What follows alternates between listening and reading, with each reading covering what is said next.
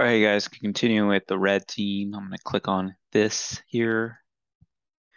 And we're going to do red team engagements, which I've already done. I'm just going to give you guys a brief uh, about each one and each task and then uh, the answer basically. So let's get to, let's get to it. All right. So they give you an introduction uh, when you're trying to create your uh, engagement documentation. So go ahead and click on to the next one. So here you define the scope and the objectives of the pen test. You know, what do the clients want exactly? Uh, do they want you to emulate um, some type of APT? You know, are they just trying to test out the responsiveness of the blue team? And in this case, this is exactly what they want. And they set those in the objectives. And then they also set the scope. So what you're allowed to do and what you're not allowed to do. Um, so they ask what CIDR range is permitted to be attacked. And they're permitted to attack 10.0.4.0 slash 22. Is the use of white cards permitted? So if you ever come across questions like this, you just do control F and you type white and then you see white card permitted and then you just put yes. Are you permitted to access this site here? No, it's not on the uh, scope here. And, you know, it's not defined as permitted like this one is, right? So next, rules of engagement. So they set the ground rules of what you're able to do and the ROE. So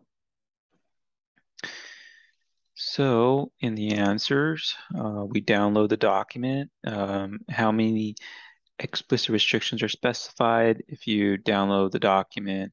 I believe this is it here. Um, no, actually, that's not it. It's it's up here. Yeah.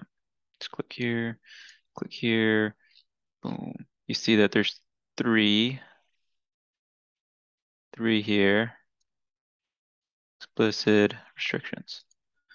So we go down here, input three, what is the first access type mentioned document? And then again, I just do my control F, access, and then I see access type phishing.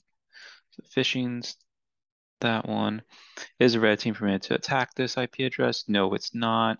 If you look at the documentation here, it's not authorized. So great, moving on. Campaign planning. So campaign planning, uh, you're basically setting your engagement plan, your operation plan, your mission plan, and your mediation plan. So these are all the steps that they plan to take during their campaign. And so we just read that documentation, the ConOps, the concept of operation, really is just brief high level paragraph or two um, defining what's the whole purpose of the uh, engagement, you know. And so that's all we really need to know. Concept operation, going into more detail. They ask you, how long is the engagement going to last? And so if you look at the concept of operation, uh, was it in this one? Engagement documentation. So, oh, here it is. So according to this, it's one month. How long is the red team expected to maintain persistence? And according to what we're reading here, it's it's going to be um, three weeks. What is the primary tool used within engagement? And they're going to be using Cobalt Strike as they mentioned here. Okay, resource plan. All right, so you click the view site button, that kind of brings up the side view and you can see the resource plan there. Uh, we were looking at resource plan here. Okay, so just when is engagement ended, you put this date here, 11 slash 14 2021. What is the budget? for the red team, it's $1,000. Hey, hey, they could pay me that. fine. Are there any miscellaneous requirements? And under miscellaneous, you see NA here. So that's NA, no. All right, operations plan. So here we're specifying that a part of this operations plan, they plan to utilize spear phishing as part of their TTPs. So they're just trying to emulate what the Chinese APT in this case would do. And they would first start off with spear spear phishing, probably just looking up who's the admins, looking at their LinkedIn profile, and then just uh, based off of the common email, you know, it could be like this is supposed to be being Enterprise, it could be like at bean.com, you know, and so they can just send an email to that admin at that IP address and try spear phishing him into clicking something. What site will be utilized for communication between the clients? Says vectr.io here. Um, is there okay? So if there's a system outage uh, or there's an outage, no, we got they gotta cease what they're doing. Um, all right, mission plan. So when will the phishing campaign end? If you click view here, you'll see that it is going to end on the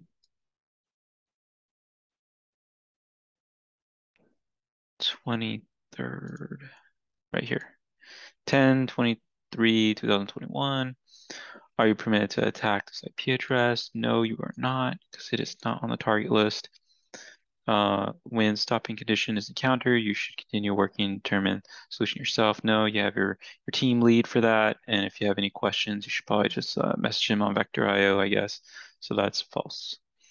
All right, guys here's the answer. And if you probably got stuck, it was probably on um, one of these here, like the dates, or um, you know, I think it was probably like which one was it? One of the ones I was looking at. Oh yeah, the thousand dollars with the dollar sign. I was like, man, that one took me a second because I didn't put the dollar sign before it. So anyhow, hope you guys like and subscribe this video. I hope to create another one tomorrow, and hopefully you got your little tickets from this. Um, I'm gonna be making a separate video, so if you know if you're doing this between September 7th to the 21st, you can receive um, some swag tickets. And um, the next video after this one's gonna explain how you can uh, find or see whether or not you have won anything because they're giving you tickets and they don't explain like how you can figure out if you know if you won anything really. And you'll see. I'll make a video in a second. It's just gonna be like bingo. Anyhow, well, hope you guys have a good day and you know, feel free to check out my other videos. I have videos um, teaching you how to uh, code in Python. I think that's a very important skill to have. And you know, you should definitely check it out because I show you how to set everything up and how to get started if you run into any issues with TryHackMe, go and check out some of my other videos as well, because I teach you everything, make sure that you're all set. I don't hide flags. That's not my MO. I want you guys to succeed and eventually uh, get the OSCP or whatever goal you're trying to achieve. I want you to achieve it. Anyhow, have a good day. Bye-bye.